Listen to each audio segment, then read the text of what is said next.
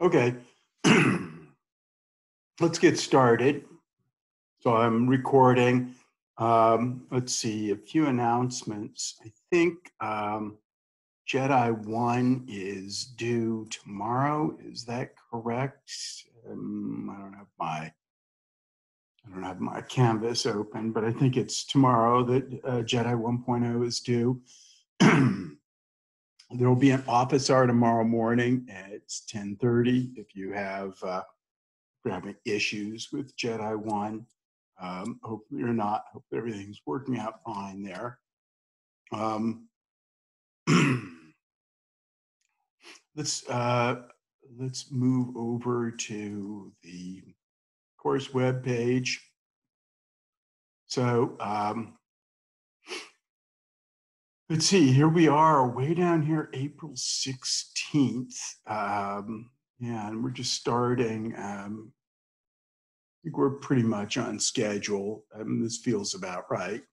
Uh, I'll set a date for uh, Jedi 3 um, when I get a better feel for what's realistic there.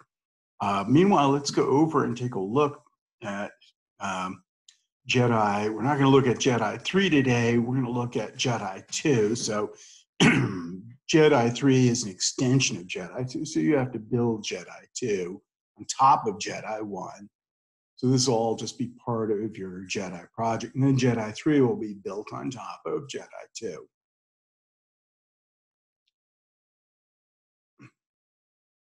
So hope everybody's ready to start looking at Jedi 2. Jedi 2 is where things start getting interesting with Jedi, even though it's a fairly easy extension of uh, Jedi 1. You should be able to get it pretty quickly.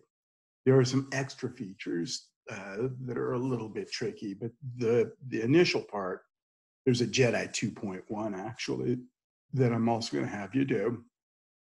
All Jedi 2 does is it adds user defined functions and blocks to uh, the Jedi language. We're seeing that in this little demo right here. So a block is just any sequence of expressions separated by semicolons and bracketed by curly braces. Okay?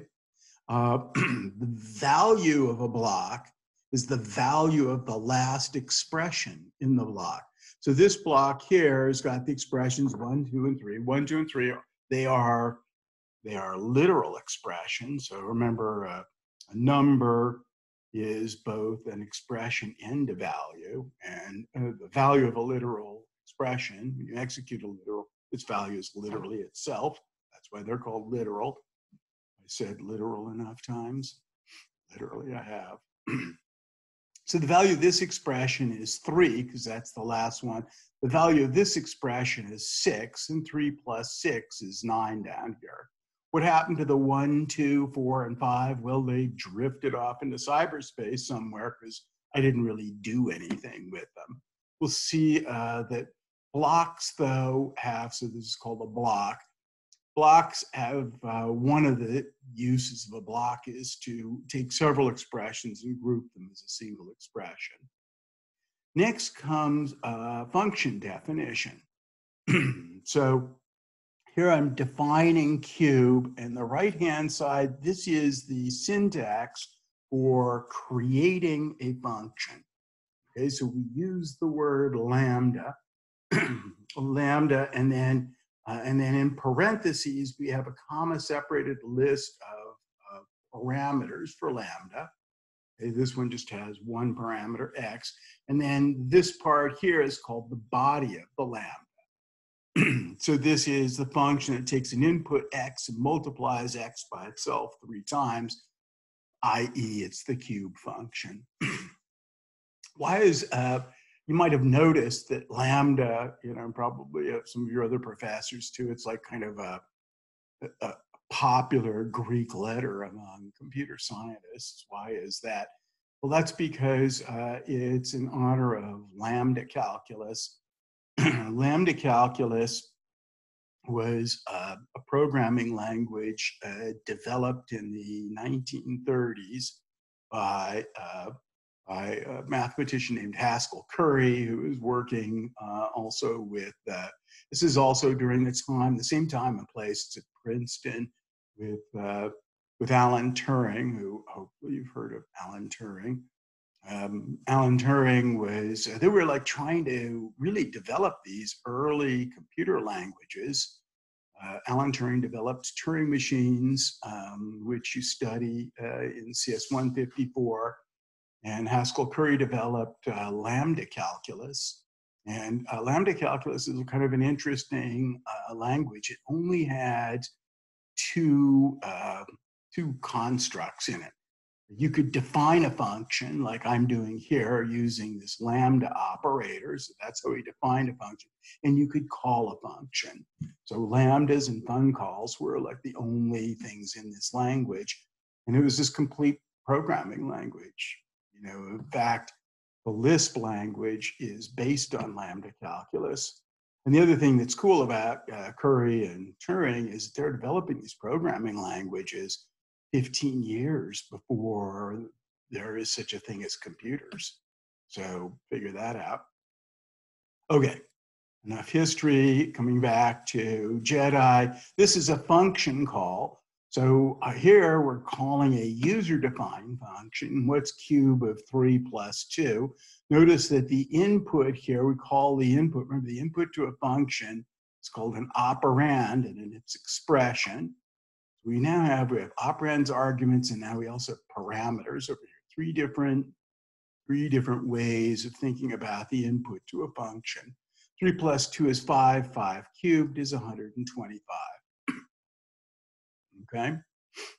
Uh, here's more complicated function. This is called F to C. This is converting Fahrenheit to temperature to uh, Celsius temperatures.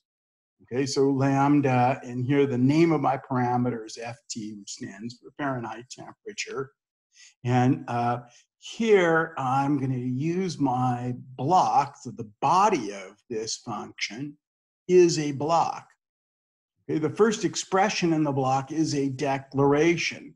I'm declaring C is 0.55, and then here, the last expression in the block, which is the return value, the value of the block, and therefore the return value of the function, is c times ft minus 32.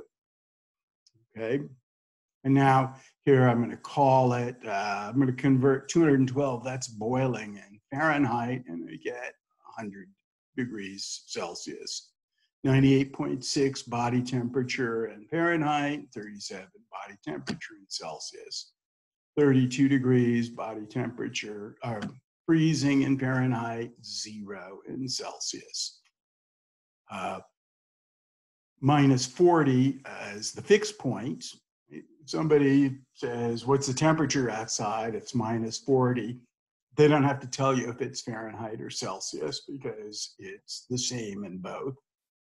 And then, uh, and then here I'm going to ask, well, what was C? And I get this error message, undefined identifier, C.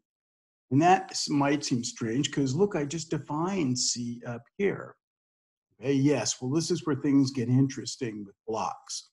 Because this C was defined inside of a block, it's a local definition. It's a local declaration. So yes, this creates a binding. Remember, binding is a word that I use for uh, a row in the environment, an association between an identifier, C, and a value, 0.55.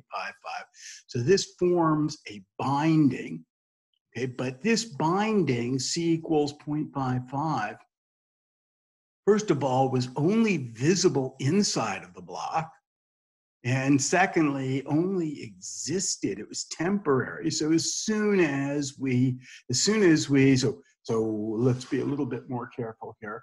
So when i call f to c this block gets executed. This declaration gets executed. This adds the binding C equals 0.55 to a temporary environment, not the global environment as we've been doing in JEDI 1, but a temporary environment.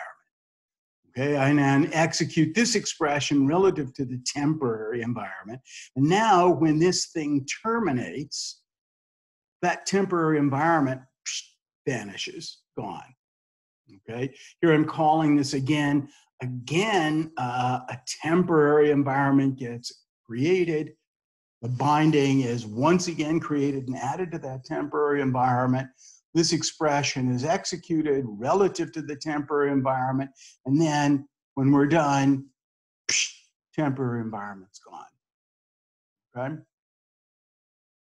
Uh, so, so here, the temporary, there is no temporary environment. So when you're at the prompt here, the only environment's the global environment. That binding was never added to the global environment. So, so out here, we don't know what you're talking about when you say C.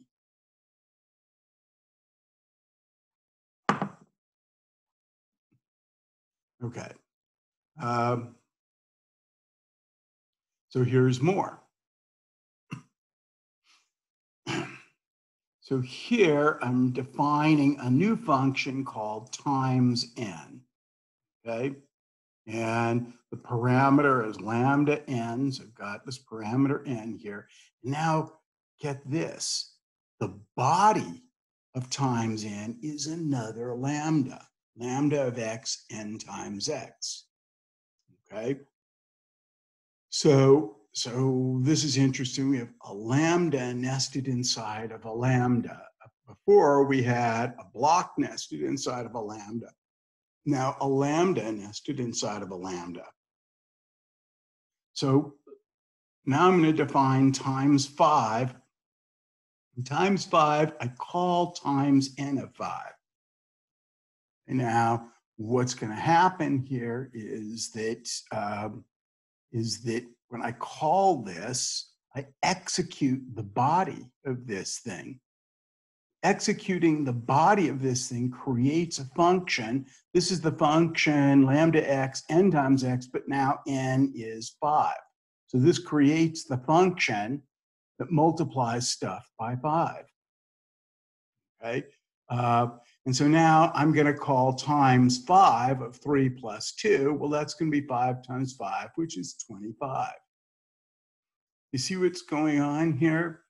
Times n is a very primitive type of a combinator. Remember what a combinator is. A combinator is something that uh, well, it's something that takes functions as inputs and returns functions as outputs. This doesn't take a function as an input, but it returns a function as a value. So this function times five didn't exist until I called times n of five.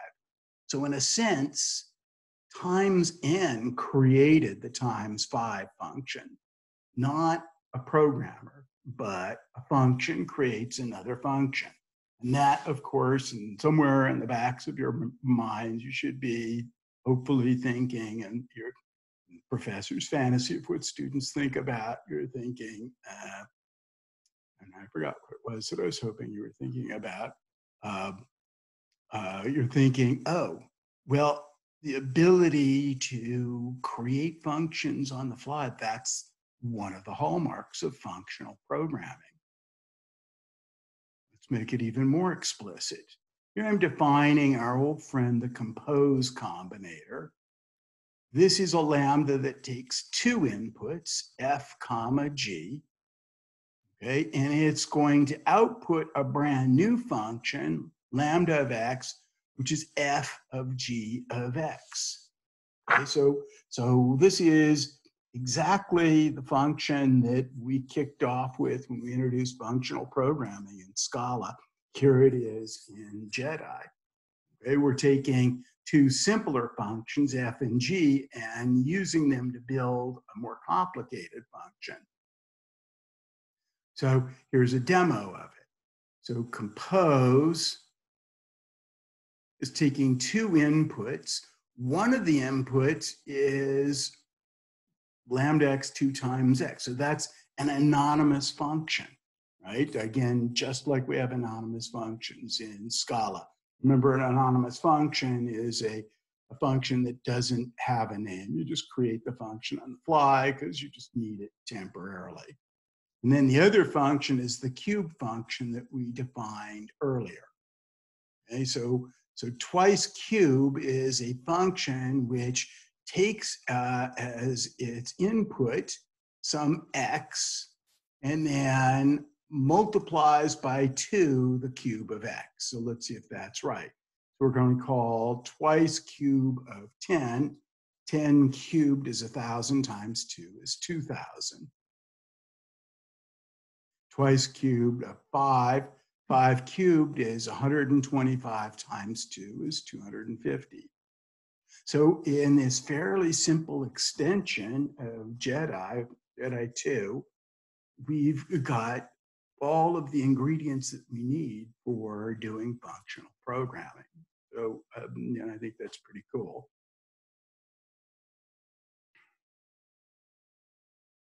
Ready for more? Okay. So, um, so uh, here is, uh, we can do recursion. So here's a recursive function. Defining fact. This is the factorial function. And we have lambda of n, and the body is a conditional which you've got from which you've got from JEDI 1. So if n is 0, return 1, else n times fact of n minus 1. And here's fact of 5 is 120, fact of 6, 6 factorial is 720. um, be careful, like if you're going to paste these definitions in to test them. For some reason, this minus sign, Microsoft Word, which I use to create these web pages, puts in here like some kind of like special hyphen character or something like that. So you'll get an error message if you paste this in. And so basically you have to you have to type it in yourself, right? Or just replace this by a proper minus sign when you paste it in.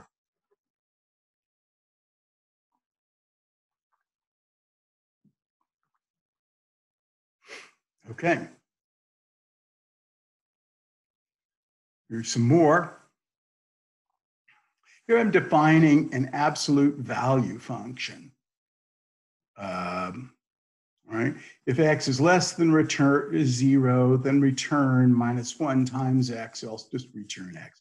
By the way, on the final exam, I will ask you to implement simple familiar functions in the JEDI language. So I want you to become JEDI programmers, right? And, and what happens when I ask this question in the final exam, some of you will give me the definition in Scala.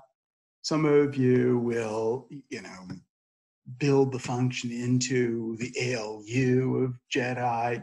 We'll do everything other than simply you know, pretend like you're a programmer, you know, and that JEDI is your language. So here, for example, absolute value of negative nine is nine. Okay, so that works. And here I'm going to define a global variable, delta. Call it global because the binding delta equals 100 will go into the, uh, the global environment. And then here's a function called is small. We've actually bumped into this function before. Is small the is uh, is small is a block, and this is a block with a lambda inside of it. So we've seen blocks nested inside of lambdas, lambdas nested inside of lambdas.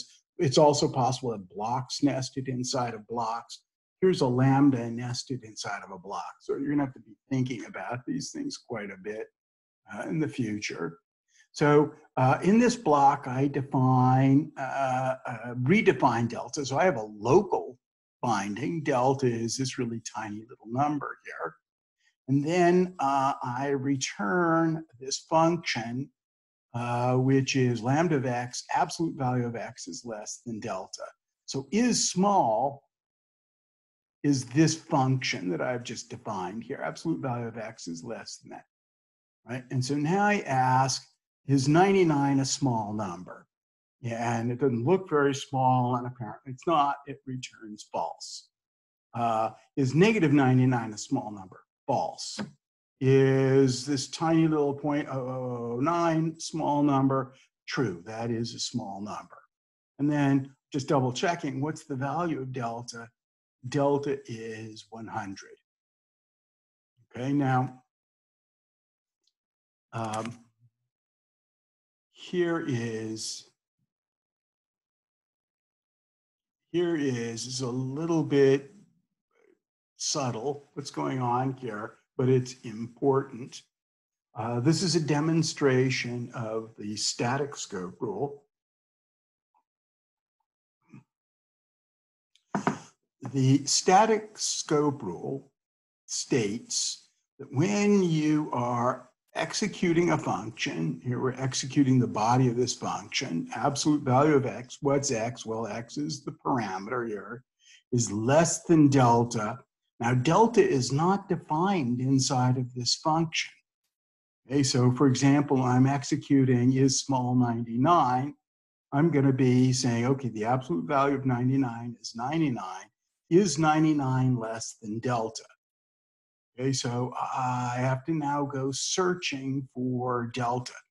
The static scope rule says that you search the environment where the function was defined, not where the function was called. I'll say that again search the environment where the function was defined. Now, this function was defined in an environment where delta was this teeny little thing. It's called here in the global environment where delta is 100. If you use delta as 100, then 99 is small. 99 is less than 100. Okay, but we can see that JEDI is using this value of delta here the definition of delta where, where the function was defined. Okay? The opposite of the static scope rule is the widely reviled dynamic scope rule, which says use the environment where the function is called. In which case, this is a test case. If you're wondering, well, are we using static scope or dynamic scope?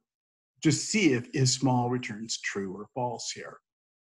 Now, dynamic scoping is a disaster because um, as the you know as let's say that i'm creating a library of functions i sell to my customers mathematical functions and is small as one of the functions in my library okay and uh, let's assume that um, JEDI uses the dynamic scope rule. So one of my customers gets hold of this. One of my customers, unbeknownst to me, happens in his environment to have delta, some, something called delta equals to 100.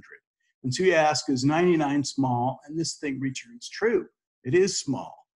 So the customer flies into a fit of rage. What? 99? 99 isn't small. 99 is big. Why is he saying it's small? And so you know, he calls up my boss and, and says, "Oh, your programmer's an idiot. He thinks 99 is small."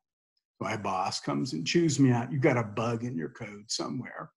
And so, you know, I'm going to spend like the next month staring at this code here. Well, I, I don't see the bug. I mean, it looks like it's okay. It looks like it's okay. Right. And, uh, you know, I might get fired over this or something, you know, because I can't see where the bug is.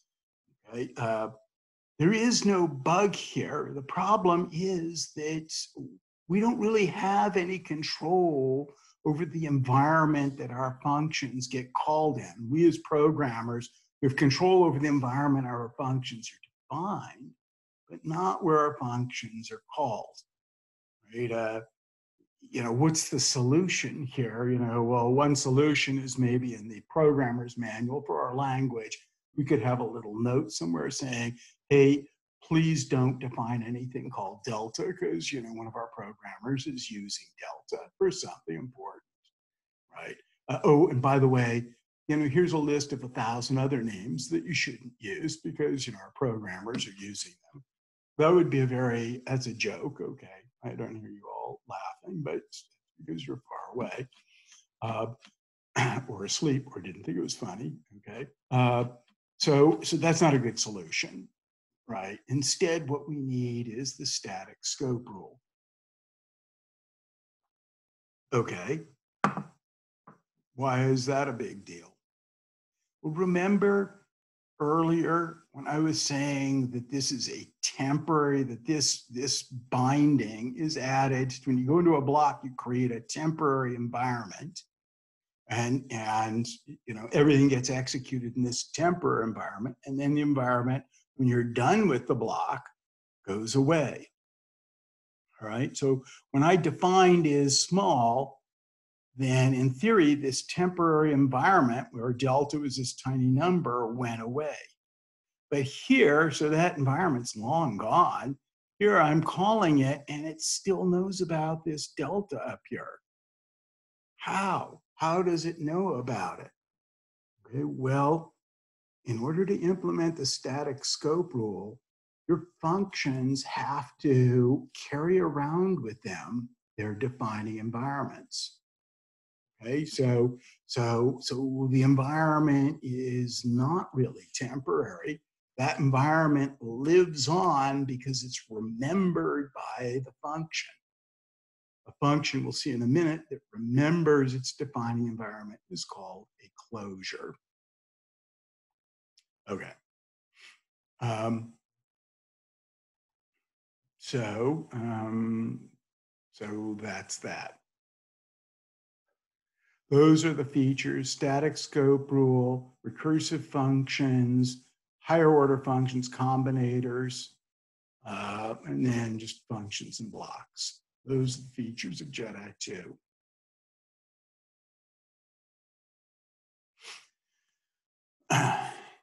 okay, so um, the first thing, the easy thing here is to define, uh, is to get blocks working. Here's a little uh, sort of structure of a block. A block is a, a sequence of expressions, why I've written it that way, separated by semicolons and surrounded by braces. Here's block in UML. So block is a special form. And this block has this, this association has a, arrow, you can call it, a block has a list of expressions. And those expressions are of type expression. We don't know what they are. They could be blocks within blocks.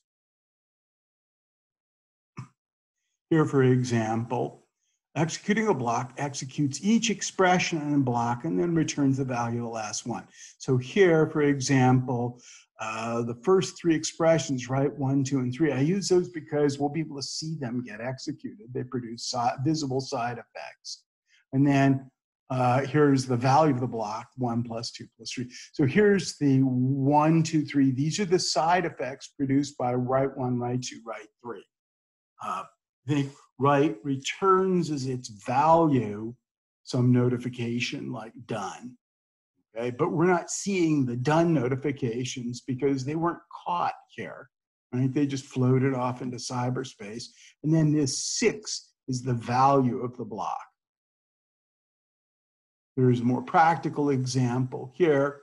In this block, define x as one, define y as two, define z as three, and now I'm gonna do x plus y plus z, and it's six. And of course, if I say, well, what's X? It's undefined because it was temporary. It set up a temporary environment.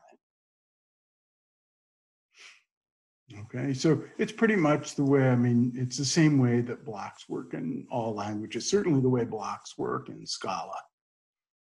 Okay, so, um,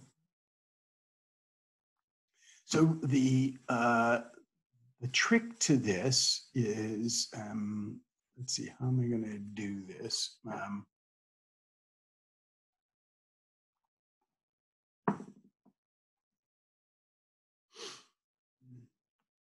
I'm thinking for a moment how if I have like any technology here that would let me do this. Um, yeah, maybe I'll just do it in paper and pencil.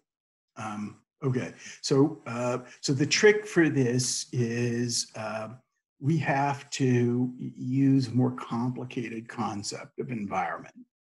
Okay, and I think hopefully this is the latest code for environment here. So some of you are already using this definition of environment. Okay. Uh, and let's just take a moment to see, uh, to look at this code. So um, environment, class environment, okay. Uh, it, it extends hash map. So an environment is a hash map. This is a hash map. I remember what a hash map does is it's like basically a two column table. It associates identifiers with values. So for example, if I say def pi equals 3.14, then pi is the identifier and 3.14 is the value. Okay. Uh, environment, I also have this with value. Um, don't worry about that yet. It comes up in JEDI 4.0 where I'm going to be using environments to represent objects. So JEDI 4.0 introduces object-oriented programming to JEDI and our objects actually are going to be environments, but uh, we'll come back to that later. So environments are happen to be values. And then here's the important part here. Uh, I've got a field, a var field called extension, okay, uh, which is a type environment. So this is kind of a crazy recursive definition. I'm defining environment, but an environment contains an environment recursively contains an environment. It's a recursive data structure. Okay. So, uh, so, so an environment has a reference to another environment called its extension. This environment, and here the extension could also have an extension, which could have an extension and so forth and so on. So we could chain together these environments as a chain of extensions. The end of the chain has no extension. So by default, extension equals null. The global environment, all of our will see here that, that as you're executing JEDI programs, you are building up these long chains of environments. In fact, they're not even chains. It, we'll see pictures uh, where it gets even more complicated than that. Okay, so that means that uh, that means, for example, let's say we want to know if our environment contains some identifier, true or false. Is pi defined in this environment? So here is the identifier that we're interested in. Okay, and we're going to call super dot contains name. Now, super is, uh, it, it, it, so contains is a method of hash map. So it'll look inside of the hash map to see if that name is in there. If it's not in there, okay, then we don't give up right? Well, maybe it's not in this hash map, but maybe it's in the extension. So if the extension is not null, then we'll ask, does the extension contain name? Now this contains here is a recursive call to the contains that I'm defining right here.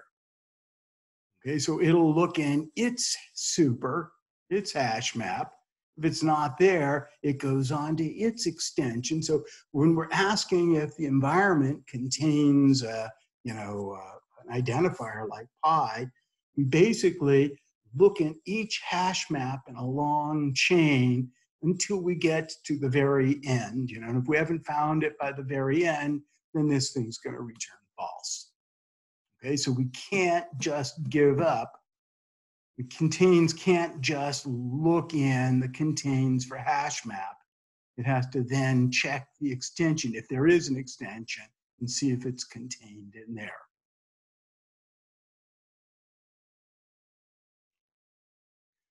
Um, what about apply? Now remember, uh, apply is uh, remember apply is is basically how you search an environment. Use this apply function.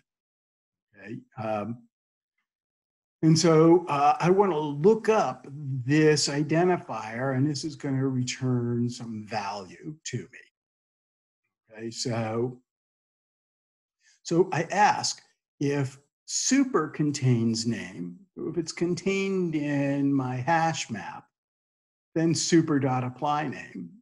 Okay, so I'm calling the apply inside of hash map. Again, apply searches, this apply that's shaded here searches a hash map. Okay, so we'll search the hash map. Okay, if super does not contain name and if the extension is not null, okay, then I'm going to call extension.apply name. Now this is a recursive call, right? Uh, this is apply calling apply, but with a different implicit parameter. Okay, uh, so uh, so if if the extension is null, well, that means that we're at the end of the line here. We're in the global environment. It doesn't have an extension. Okay. Uh, and and it didn't contain the name, so name is not contained in this identif- uh, in this environment. So this is where we're going to throw our undefined exception. Sorry, we looked everywhere. We looked through this whole chain, and we didn't uh, we didn't find it. Okay. So what happens in a block, uh, so we have this block dot execute, let's see. So block has to implement an execute method. Okay, and what you're gonna do is you're gonna create, inside of execute, you're gonna create a temporary environment, okay, like this. New environment, env, remember, is the input to execute. You're going to create a temporary environment, and then you're simply going to go down the list of expressions. Remember, this guy has a list of expressions and execute each expression relative to the temporary environment, returning the value of the last one. Okay. So hang on one second. I'm going to see if I can't find a dark pen and maybe uh, go through this with you.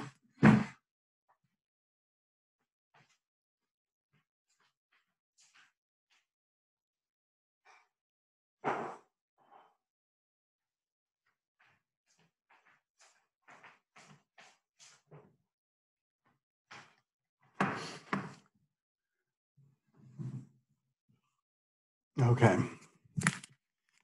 So uh, this is going to be um, hard part of the class.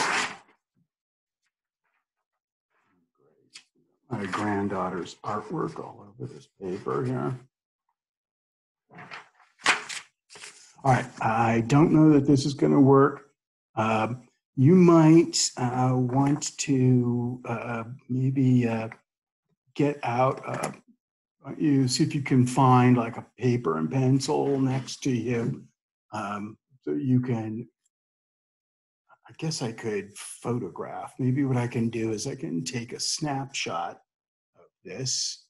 I got that ability here. Um,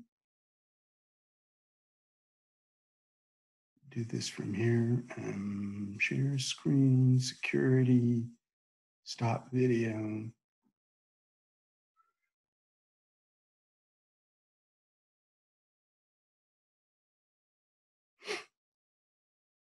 Mm-hmm. Um, well, um, I guess I can always do it um,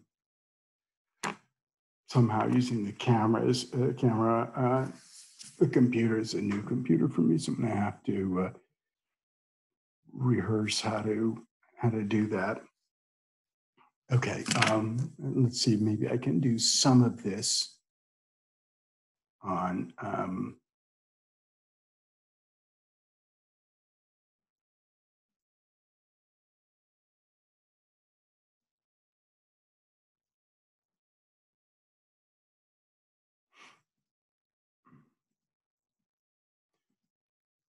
Okay, so um,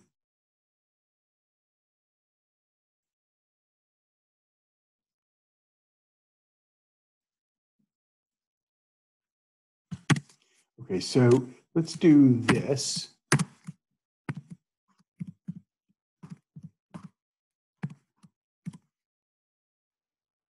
Let's do this. Let's do it this way. So here we are in the JEDI interpreter. I'm going to define x 10. This is probably going to say OK. Now I'm going to do this def um, y equals 20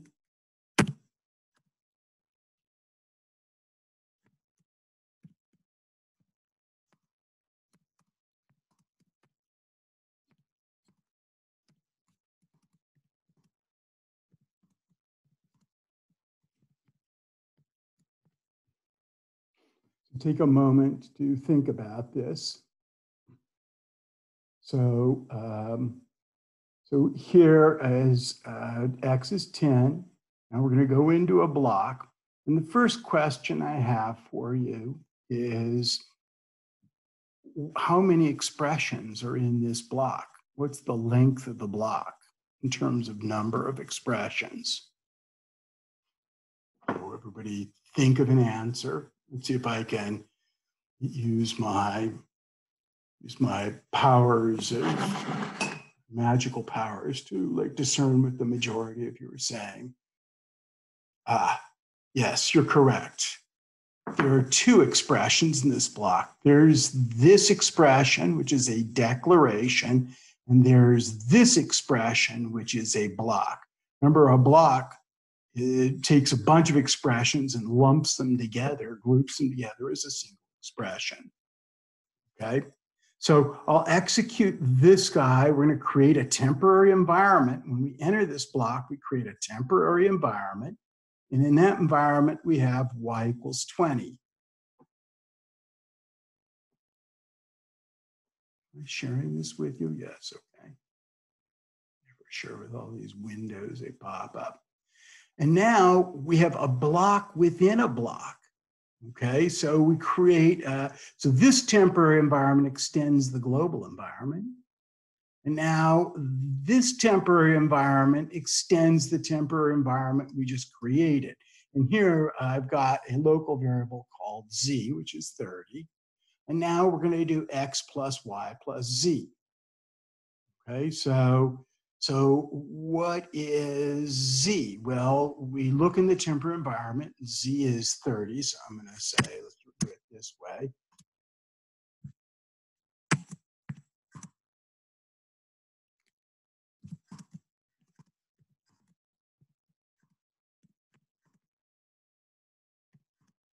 Z is 30.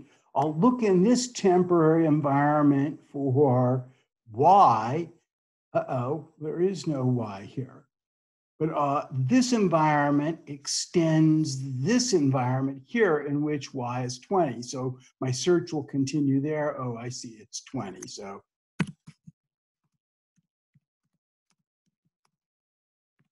now what about x? I have to figure out what x is.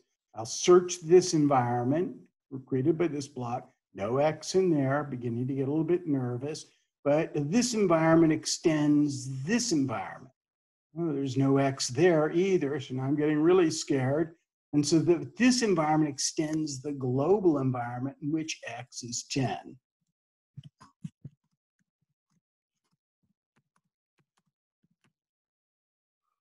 And that is,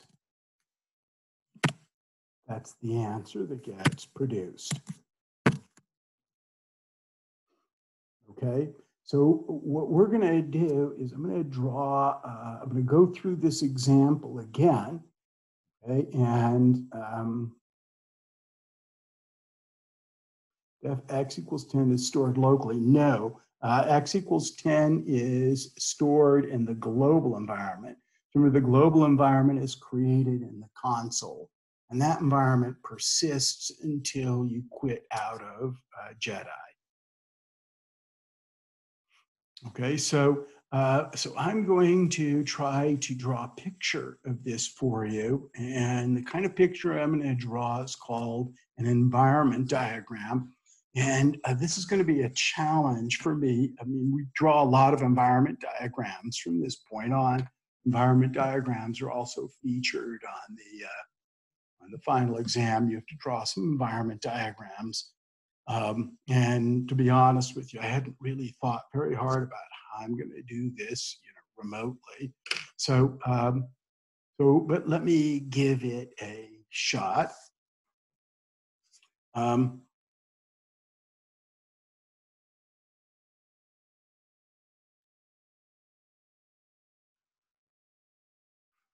just need a moment.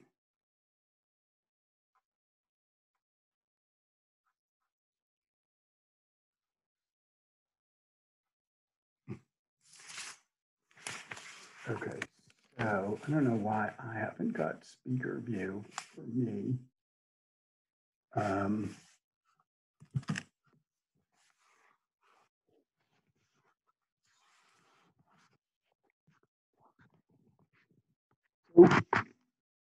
Here um, is my initial thing here. It looks like, is it backwards for you? Yeah, probably is backwards, isn't it? Uh, I don't think I can draw these things backwards. I will take a photograph when we're done with this, and you know.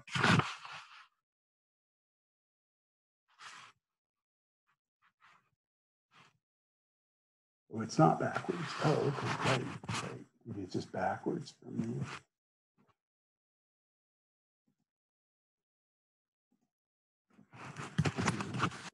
So this picture that I have drawn, okay, is it's labeled GE. GE stands for global environment. If you look at the code for console, you'll see where the global environment is defined. Okay. Uh, in this global environment, so all of my environments, this is a hash. Think of this as a hash table, a hash map. Okay, the the left-hand column is identifier. I just wrote ID in there for identifier. And the right-hand column is the associated value. I just wrote VAL.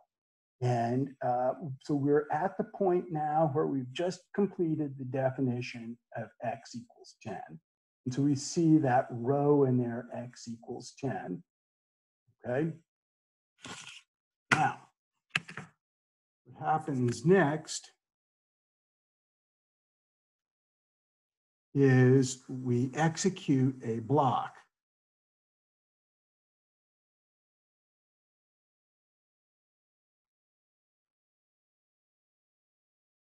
And um, just remind myself uh, y equals 20. So in that block, um,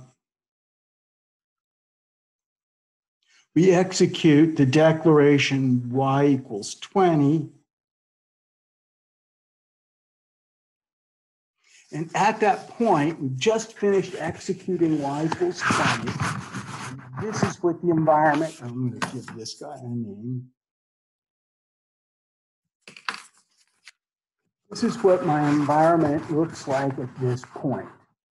Okay, so so the new environment that I created, because I entered that block, I'm calling it TE1 for temporary environment one.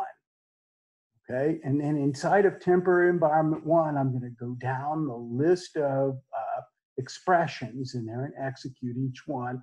And I've just finished executing the first one, which was def y equals 20. So that binding y equals 20 goes into TE1.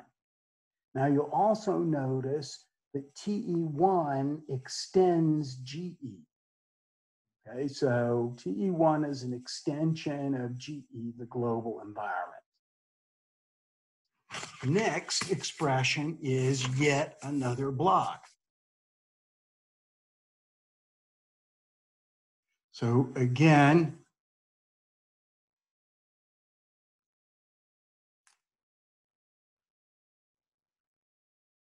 You begin by creating a temporary environment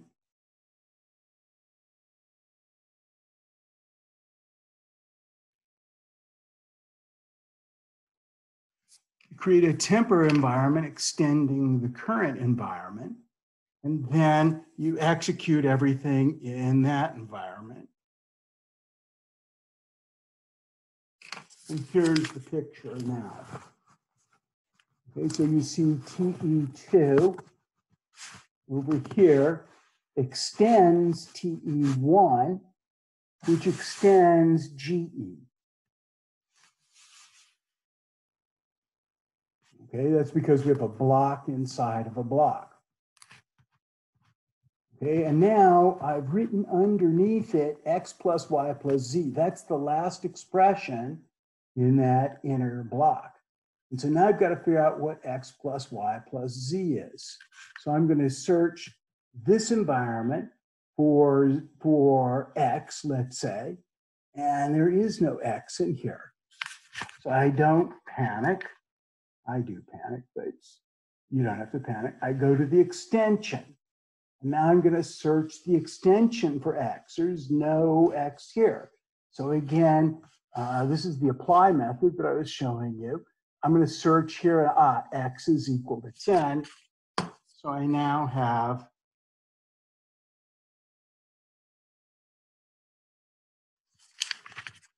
I now have, okay, see that, this is a ridiculous way to do things. I've got 10 plus y plus z.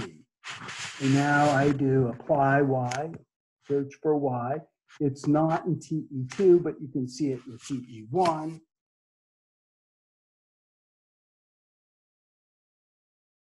I'm just going to cut to the chase.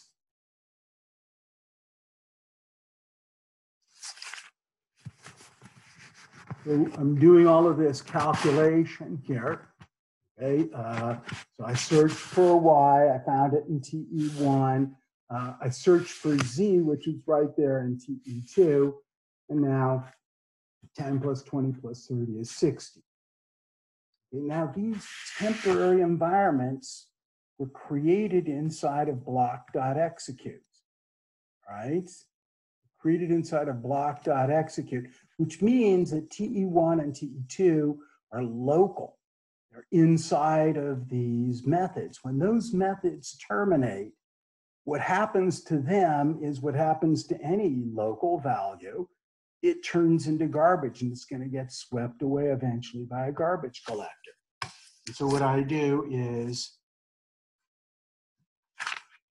to indicate that, I draw these cross out lines here to show that TE2 now goes away.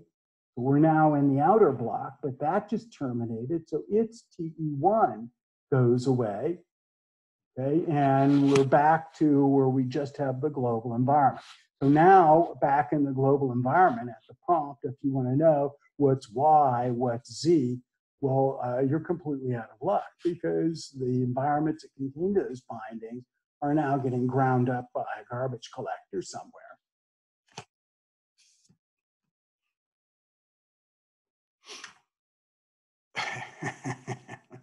so what I would like you to be able to do is uh, is to uh, we'll set up like a little lab for this uh, some maybe next week so I'd like you to be able to draw these environment diagrams.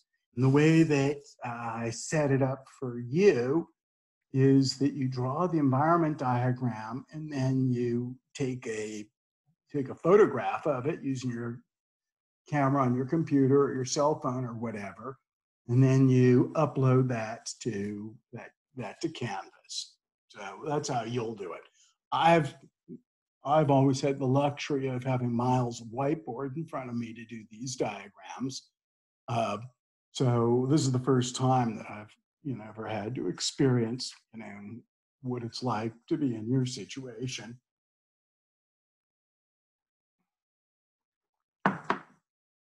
Okay, any questions about um, about block? Let's go back to screen share. right? So just to be clear, your first move here is to create this class called block.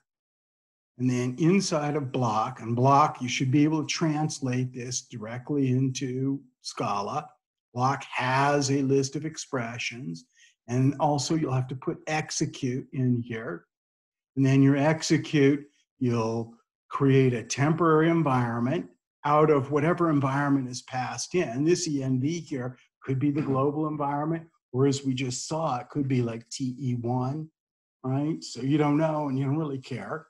And then you go down that list of expressions, you execute each expression in the list and return the value of the last one. And just as a tip, you know, try not to try not to execute anything twice.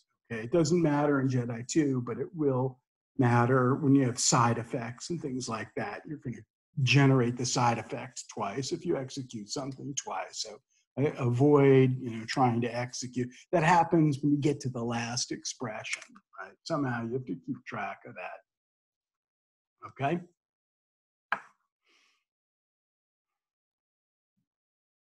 all right. Shall we move on? Uh, the, the environment the blocks environment. I mean there's also the parser for blocks. Let's see. Um, let's take a quick look at that. See what I've given you here.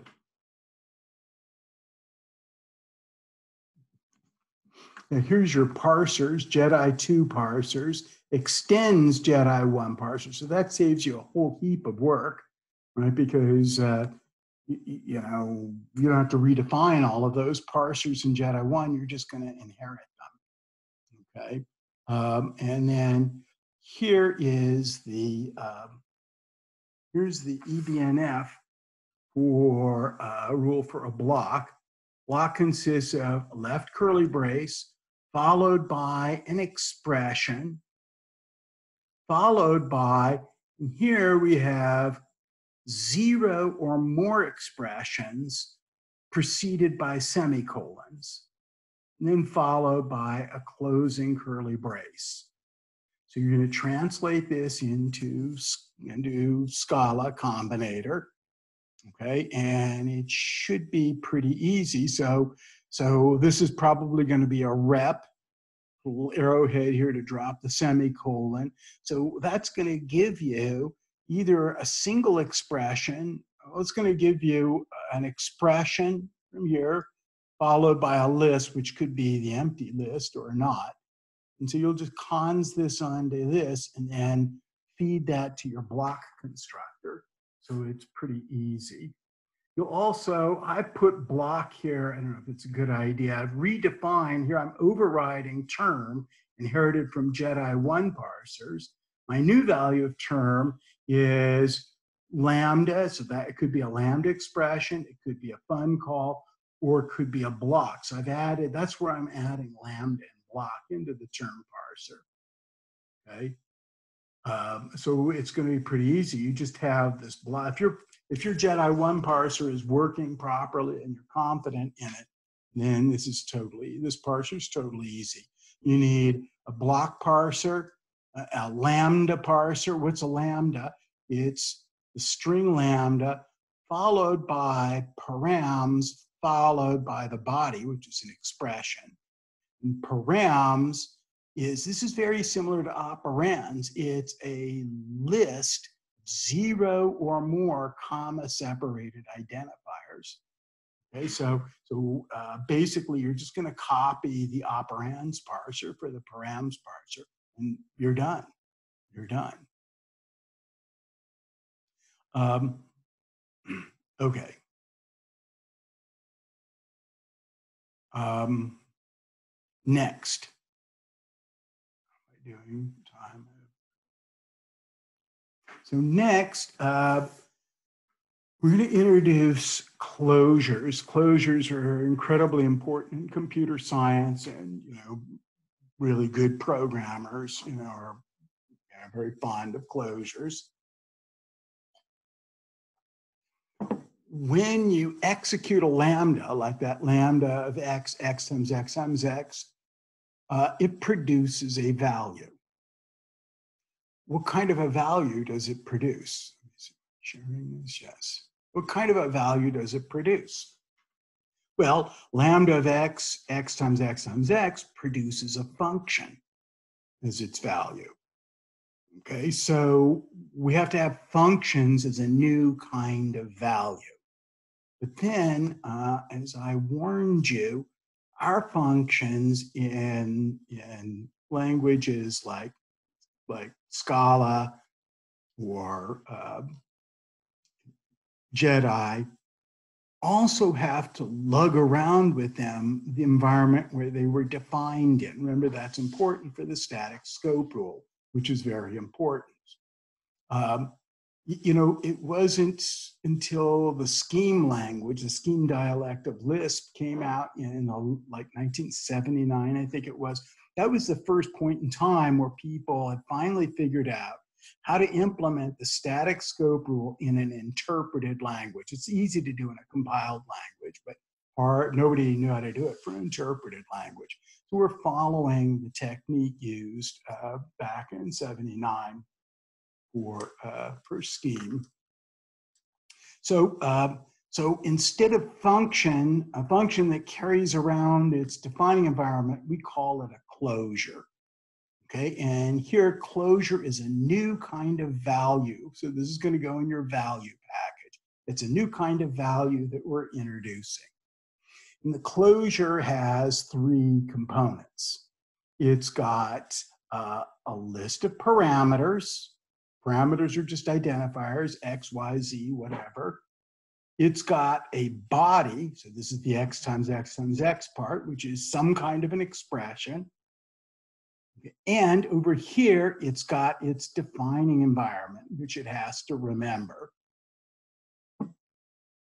Okay, and then there's, uh, inside there's gonna be an apply method, Okay, and it's going to get, I think this is a typo. Args here should be a list of value, I think. Those are the inputs. Okay, and now think a little bit about in the ALU execute. There too, it gets a list of, of values. Args is a list of values. This is the same thing, uh, but it's going to be, uh, so it's going to be, this is the same thing, but it, you know, it's a user-defined function. Okay, now um,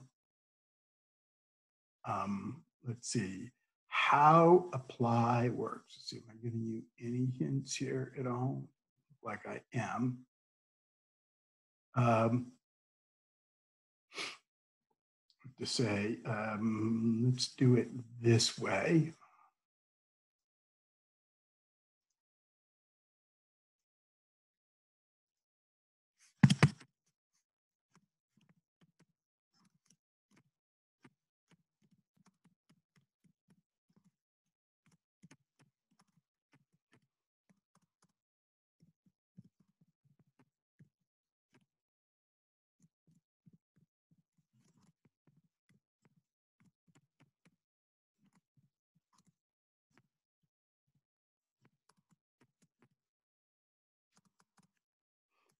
So I'm skipping over a lot of uh, your fields and so forth. Or I guess the fields are going to be defined up here. Used between 2 and 151, which is all Java. So here, you know, you're going to have, what are you going to have? You're going to have params, you're going to have body, you're going to have uh, def in VA, just like we had So, um, so here we're going to create a temporary environment.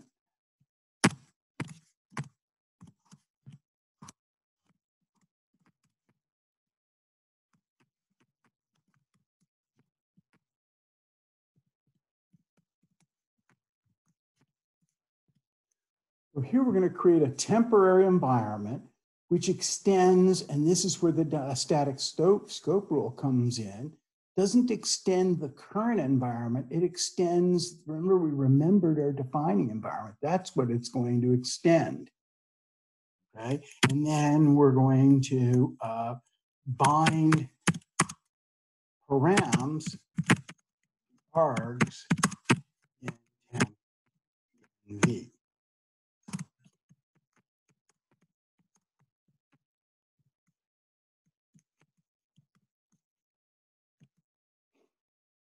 So, so here we have our parameters, x, y, z, and here we have our arguments, two, three, four. So x is two, y is three, z is four. So that's what I mean by binding parameters to arguments.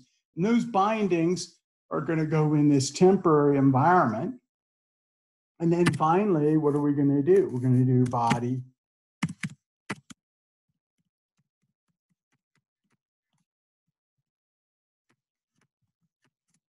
we're going to execute the body relative to the temporary environment. So that's, um, that's a sketch of, um, that's a sketch of this apply method here. Okay. Um, time it is. Yeah, one little comment, we'll come back to this a little bit later, but something interesting here is that I have told you that the important, the most important dichotomy is in programming languages is the dichotomy between value and expression. Expressions are questions and values are like the answers, right? Uh, they overlap a little bit in literals, but you know we generally keep expressions and values separated in our mind.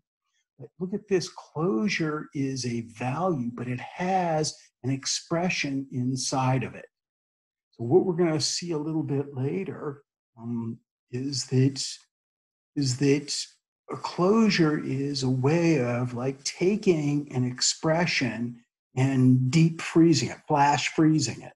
Uh, normally, you type an expression, let's go back up here for a second just to see this is kind of a philosophical point. But so normally, when you type in x times x times x, this is you want it executed now, right? So if I just typed in x times x times x, you know, we try to execute that. Okay, this is an expression.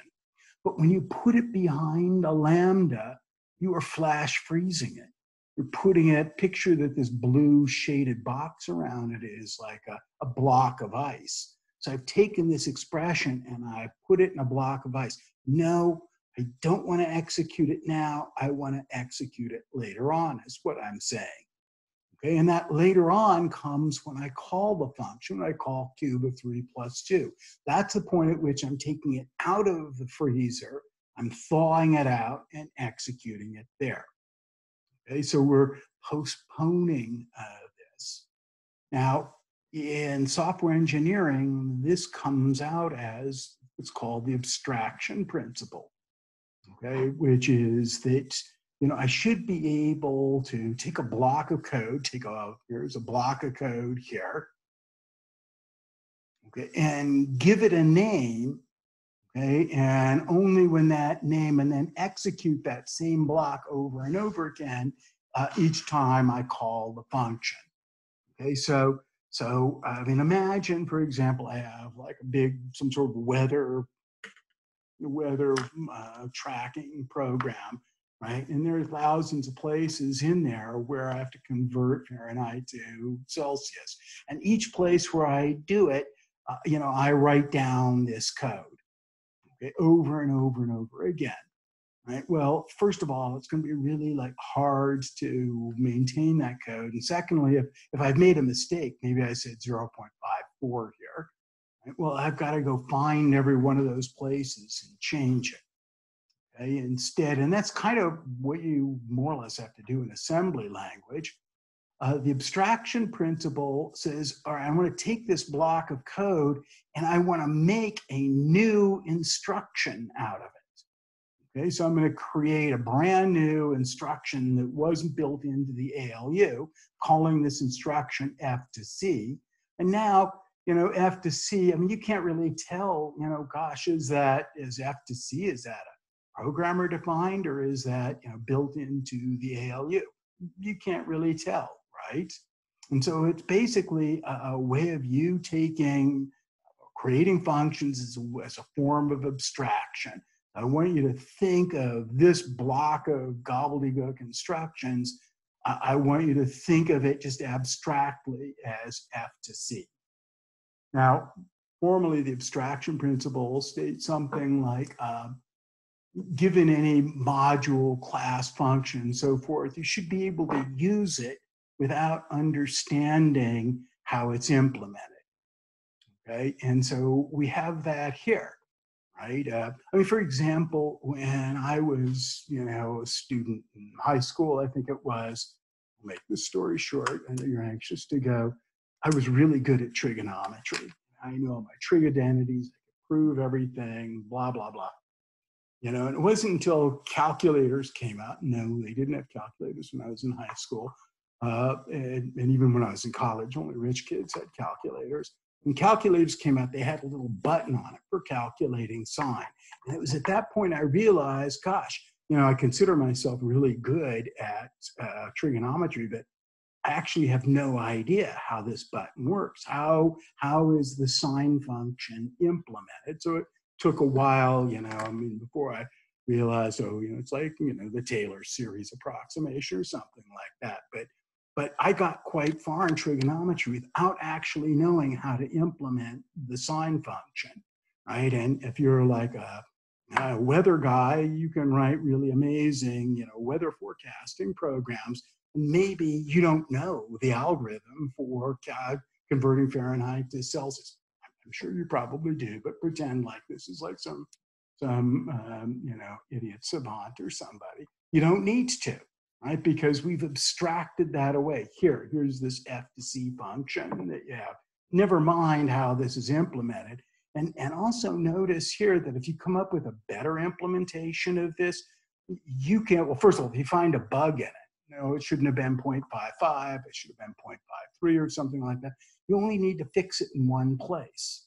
And the other thing to notice is if you come up with a better algorithm, you can replace this implementation with the new one. And since nobody knew how it was implemented in the first place, I mean, it was, in effect, it was our secret sauce, uh, it doesn't change any of your users' code, right? I mean, they just go on, they just maybe notice that, oh, F to C seems to be running faster than it used to run, using less memory than it used to use, blah, blah, blah. Okay.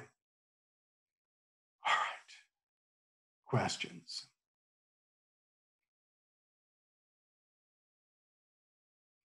All right, so I don't see any questions popping up. So, you know, you'll send me an email or you'll come to office hour tomorrow if you have questions.